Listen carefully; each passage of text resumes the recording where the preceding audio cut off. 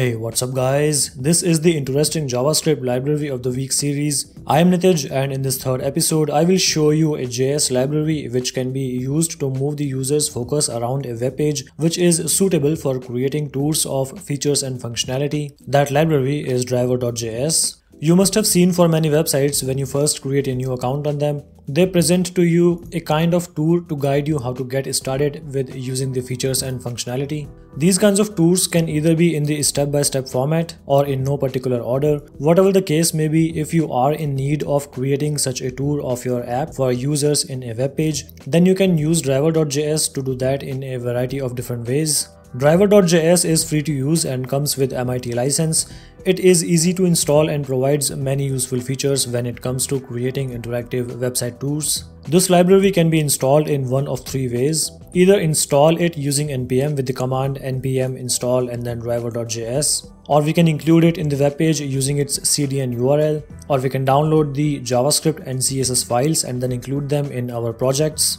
Remember that you will need both the JS and the CSS files when you are including them in your web page. Apart from creating the usual tools, we can also use driver.js to highlight any specific HTML element and block the rest of the UI by showing a translucent black background. The highlighting of HTML elements can be complemented with additional decorators like tooltip popovers and popover descriptions which are in the HTML format. Let's now see some of the different ways in which we can use driver.js. Alright, so this is Bootstrap's free admin template and I will be using this template to show you three different examples in which we can use the driver.js to first highlight any specific HTML element and then later to create a kind of a tour of features and functionality which is available in this application. So this is Visual Studio Code and the first example which I will show you is how to highlight a single element. Suppose that we want to highlight this primary card element in this web page. To do that first we will need to create a new driver object by calling its constructor and then we need to call driver.highlight function and then we need to provide the ID of the element which we need to highlight.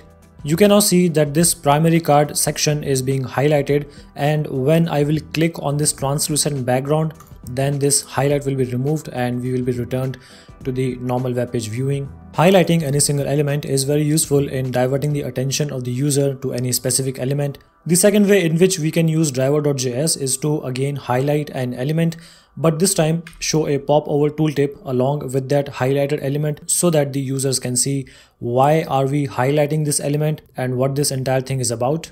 To do that, first create a new driver object by calling its constructor.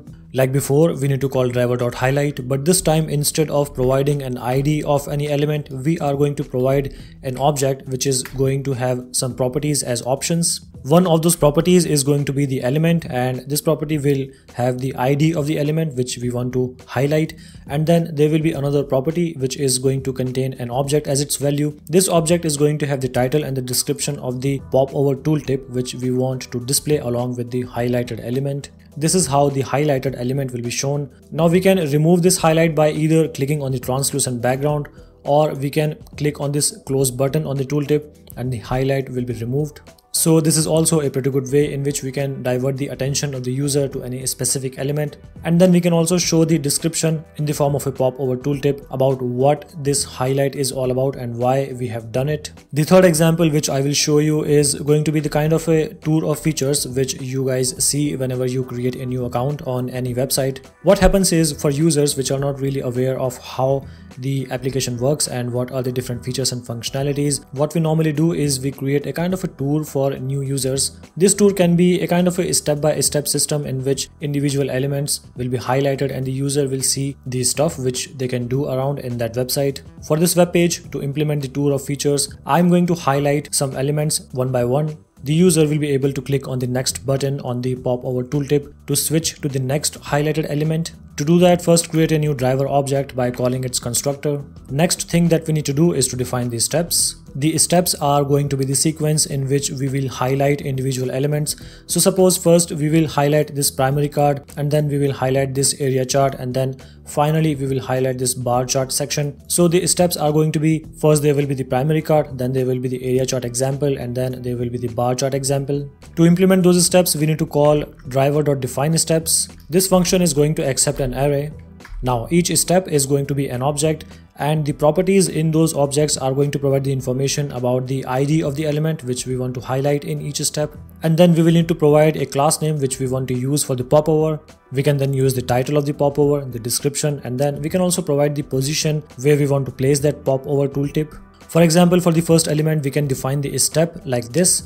We can provide the element ID and then we can provide the popover tooltip information like its class name, its title, its description and its position. Similarly, we can define the steps for next elements which we want to highlight for the tour of features which we want to create for the users. So for this example, first the primary card will be highlighted, then the user can switch to the next element by clicking on the next button on the popover tooltip. Then this area chart will be highlighted and then finally this bar chart will be highlighted. Now to start this tour, all we need to do is to call driver.start and this will start the tour of features on our web page. So you can see that this is the first element which is being highlighted right now and the tooltip contains several buttons like the close button, the next button and the previous button. When we will click the next button on this tooltip then the next element will be highlighted in this tour of features.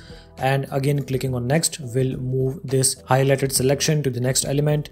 And then when we will click on done then this tour will be finished. And this is how we can easily set up a tour of features for the new users using this library which is driver.js. These were just some basic examples about the usage of driver.js. If you want to explore more then be sure to open up its documentation or its source hosted on GitHub and explore further. And that is everything this episode has to offer about driver.js. Thank you so much for watching this video. I hope that you will like it. If you do, then please be sure to place a thumbs up on this video and also subscribe to the CodeFirst channel for more such videos. I am Nitij and I hope that we'll meet again. Till then, take care of yourselves and have a great time.